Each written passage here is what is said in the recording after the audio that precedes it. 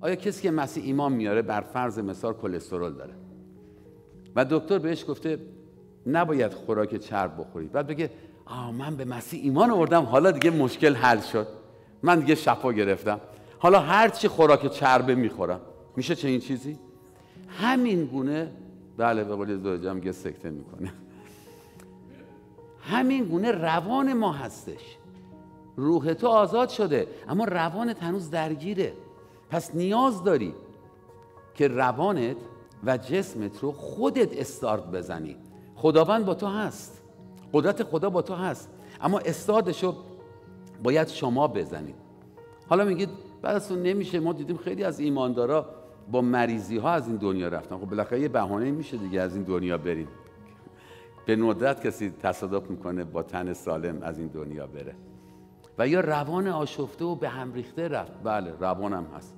اما در کتاب مکاشفه باب 21 آیه 4 اعلام می‌کنه وقتی که ما از این رحم آزاد میشیم از این دنیا وقتی میریم آسمان نه دردی داریم نه رنجی داریم نه ترسی داریم نه مصیبتی با ما خواهد بود نه مرگی با ما خواهد بود.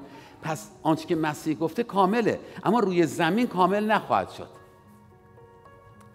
ولی برای بهبودیمون لازم هستش که ما در این قلم رو قدم برداریم و مطابق کلام خدا عمل کنیم. بر فرض مثال کلام خداوند میگه من و شما رو بخشیده. آمین؟ خب این سهم خدا بود دیگه. به خاطر گناهان بشریت رفت روی صلیب مرد و ما رو بخشید. حالا کلام خداوند مسیح میگه من و تو باید کسانی که به ما آزار رسوندن اونها رو ببخشیم. میبخشی یا نمیبخشی؟ می‌دونید چرا نمیبخشیم؟ چون اسیر گذشته هستیم.